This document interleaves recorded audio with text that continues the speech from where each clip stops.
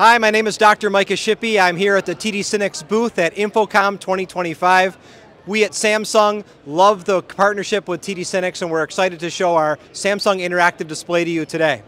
Uh, our Samsung Interactive Display is Google EDLA certified, so the first thing you notice is it has a look, feel of a mobile tablet or a mobile phone. We believe that that UI and UX really helps your average user feel way more comfortable approaching the device and leveraging it for instructional and communication purposes.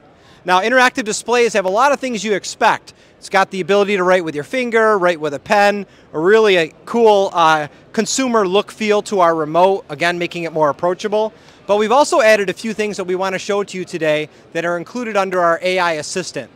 Our AI Assistant is a pop-out. Now, I should say in full transparency, I signed in myself authorizing the AI under my account.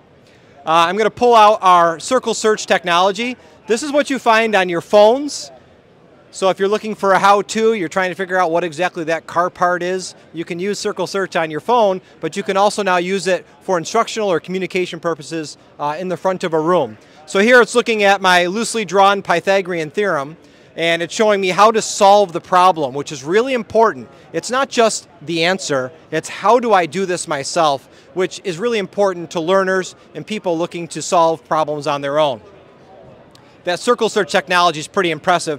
But one that gets me a little bit more excited is the live transcription.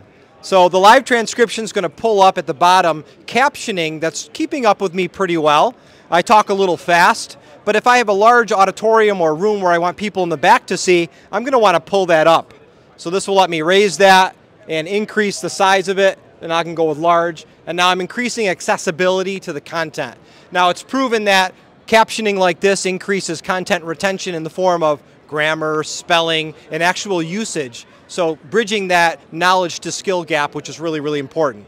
Now when I'm finished, I could go on and on. I could go for a full hour. I'll hit stop here, and it's going to take my transcription and repackage it uh, in our AI summary screen. Now, in the education world, one thing educators often do is provide a copy of the notes. Usually that's done at the beginning of a class. Here's the notes, follow along. We would call that prescribing learning. What we're excited about is this is way more powerful because it describes learning. It's what we did together and the meaning we made in an instructional atmosphere.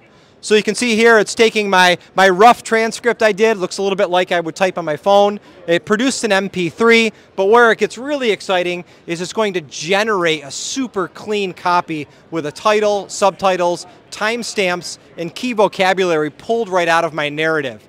So that's generative AI in the background is operating right now. Now if I switch over, you'll see I've got a title, I have subtitles, and I can pop to different points of topics that I spoke about. We believe that this is an in-the-moment tool that really meets educators where they are. We're leading with a use case of what really makes a difference in a classroom or an instructional space, uh, rather than leading with cool technology, which of course we have at Samsung.